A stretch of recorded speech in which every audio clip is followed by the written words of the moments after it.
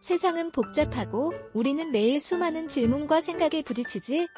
종로도서관의 북큐레이션은 그 질문들에 대해 책을 통해 답을 찾고 새로운 시선을 제시하는 프로그램이야.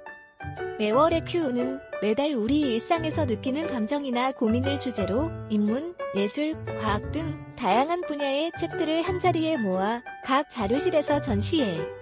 10월의 주제는 사랑이야.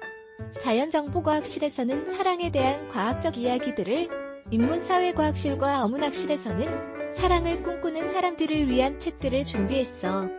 그리고 인왕관에서는 별빛이 비추는 영혼을 주제로 다뤘지.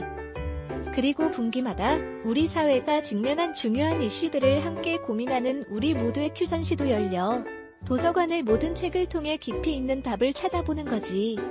3분기 우리 모두의 큐에서는 문해, literacy 문제를 다뤘어. 코로나19 이후 교육과 사회 전반에 나타난 문해력 부족 문제를 성인부터 청소년, 어린이, 디지털 literacy까지 함께 생각해보는 전시야. 11월 18일부터는 올 한 해 동안 다뤘던 질문들을 요약한 전시, 이용자 참여 이벤트 등 종로 북큐 페스타가 열릴 예정이야. 우리 삶의 질문과 해답, 종로 도서관 북큐레이션에서 같이 찾아보자. 자세한 정보는 홈페이지 정보, 큐레이션 메뉴에서 확인할 수 있어.